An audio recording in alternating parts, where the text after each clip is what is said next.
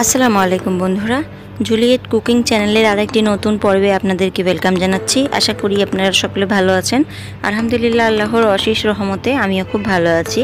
আমি আবার একটা নতুন রেসিপি নিয়ে চলে এসেছি। আজ অনেক দিন পর আপনাদের কাছে নিয়ে এলাম। আশা করি এই রেসিপিটি আপনাদেরকে ভালো লাগবে। আজকের রেসিপি হচ্ছে চিকেন টিক্কা বিরিয়ানি রেসিপি রেসিপিটি যদি ভালো লাগে, অবশ্যই লাইক কমেন্ট শেয়ার করবেন পরিবার ও বন্ধুদের সাথে এবং আমার চ্যানেলটিকে সাবস্ক্রাইব করে বেল বাটনে ক্লিক করে দেবেন নিত্য নতুন ভিডিও সবার প্রথম আপডেট পাওয়ার জন্য। অনুরোধ রইল, শুরু থেকে শেষ পর্যন্ত ভিডিওটা অবশ্যই পুরো দেখবেন।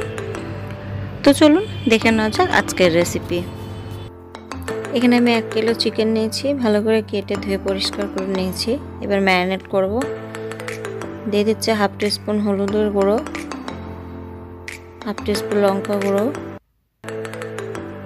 হাফ টিস্পুন ধনে গুঁড়ো, হাফ টিস্পুন জিরে গুঁড়ো, ওয়ান টিস্পুন গরম মশলা, স্বাদ মতো লবণ, ওয়ান টিস্পুন বিরিয়ানি মশলা, অর্ধেক লেবুর রস, দিলাম চার টিস্পুন টক দই,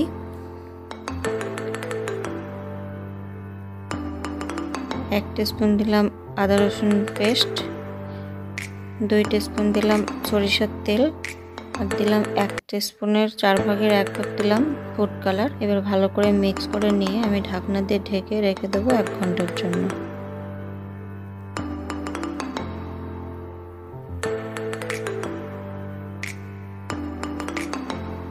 এখানে আমি ভাতটা করার জন্য একটা হাঁড়ি নিয়েছি, দিয়েছি পরিমাণ মতো পানি, একটা তেজপাতা, দিলাম গোলমরিচ, গোটা দারচিনি, চারটে এলাচ, দিলাম স্বাদ মতো লবণ, আর দিচ্ছি দুই স্পুন চিনি।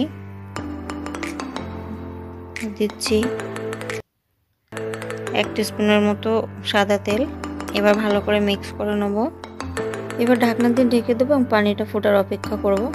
পানিটা কিন্তু ফুটে উঠেছে। এবার চাল নিয়েছি এক কিলো। আমি ভালো করে ধুয়ে পনেরো মিনিট ভিজিয়ে রেখেছিলাম। এবার আমি দিয়ে দিচ্ছি এবং ভালো করে নাড়িয়ে নেব। আবারও ঢাকনা দিয়ে ঢেকে ঢেকে দেবো এবং পানিটা ফোটার অপেক্ষা করব। এদিকে আমার চিকেনটা এক ঘণ্টা হয়ে গেছে। এবার এখানে নিয়েছি একটা ফ্রাই প্যান, দিয়ে দিয়েছি দুই টেবিল চামচ সাদা তেল। এবার আমি, তেলটা গরম হয়ে গেছে, এবার আমি দিয়ে দিয়েছি ম্যারিনেট করা চিকেনের পিসগুলো এবং আমি গোল্ডেন ব্রাউন করে ভেজে নেব পিসটা। এখানে আমার ভাতটা সেদ্ধ হয়ে গেছে, আমি সেভেন্টি পার্সেন্ট সেদ্ধ করে নিয়েছি। এই দেখুন, আমার চিকেন টিক্কা একদম পারফেক্টভাবে রেডি হয়ে গেছে। এখানে একটা কড়াই নিয়েছি, দিয়ে দিলাম দুই টেবিল চামচ তেল, দুইটা মিডিয়াম সাইজের পেঁয়াজকে স্লাইস করে কেটে নিয়েছি। তিরিশ থেকে চল্লিশ সেকেন্ড আমি পেঁয়াজটা ভেজে নেব। ভেজে নেওয়া হয়ে গেছে, এবার দিয়ে দিচ্ছি একটা মিডিয়াম সাইজের টমেটো। দিয়ে দিলাম স্বাদ মতো লবণ, এক টেবিল চামচ আদা রসুন পেস্ট। এবার ভালো করে আমি টমেটো পেঁয়াজটা ভালো করে সেদ্ধ করে ভালোভাবে সেদ্ধ হয়ে গেছে। এবার দিয়ে দিচ্ছি হাফ টিস্পুন হলুদ গুঁড়ো, হাফ টিস্পুন লঙ্কা গুঁড়ো, হাফ টিস্পুন জিরে গুঁড়ো, হাফ টিস্পুন ধনে গুঁড়ো এবং এক টিস্পুন গরম মশলা এবং এক টিস্পুন দিলাম ঘি। এখানে কিন্তু কোনো পানি ব্যবহার করব না, এইভাবে মশলাটাকে ভালো করে কষিয়ে নেব। মশলাটা কষানো হয়ে গেছে। এবার আমি চিকেনের পিসগুলো অ্যাড করে দিচ্ছি। এখানে ম্যারিনেট করা যে চিকেনের মশলাটা ছিল, সেটাই আমি দিয়ে দিলাম। এবার চিকেনটাকে আমি ভালো করে কষিয়ে নেব। ততক্ষণ পর্যন্ত সেদ্ধ করব, যতক্ষণ সেদ্ধ সেদ্ধ না হয়ে যায় চিকেনগুলো, দিয়ে দিলাম চারটে কাঁচা লঙ্কা। এই দেখুন, আমার চিকেন একদম কষানো কমপ্লিট হয়ে গেছে। এবার দিয়ে দিচ্ছি দুই স্পুনের মতো চিনি। ভালো করে দিয়ে আমি আরও এক দুই মিনিট কষিয়ে নেব। কষানো হয়ে গেছে, এবার গ্যাসের ফ্লেম বন্ধ করে দেবো এবং নামিয়ে নেব। এখানে একটা পাতলা লেলিয়েছে, দিয়ে দিলাম তেল। ভালো করে মিক্স করে নিয়েছি। এখানে পাঁচশো গ্রাম আলুকে আমি ফ্রাই করে নিয়েছি। দিয়ে দিলাম। তারপরে আমি চিকেন দিয়ে দিলাম।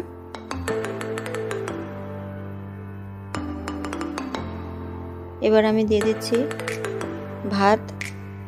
এভাবেই কিন্তু একটার পর একটা লেয়ার দিয়ে আমি বিরিয়ানিটাকে সাজিয়ে নেব। এখানে দুই টিস্পুনের মতো আমি ঘি দিয়ে দিচ্ছি। আবার চিকেনগুলো দিয়ে দিলাম।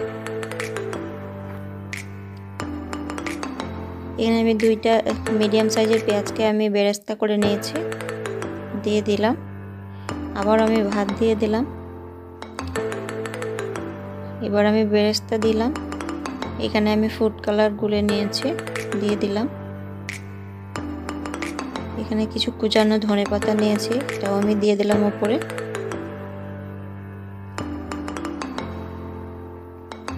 এখানে একটা কড়াইকে আমি পনেরো মিনিট ধরে আমি হিট দিয়েছি। এবার ওর উপরে চাপিয়ে দিয়ে আমি এখানে পনেরো মিনিট দমে রেখে দেবো বিরিয়ানিটা। পনেরো মিনিট হয়ে গেছে, এবার আমি সার্ভ করে নেব।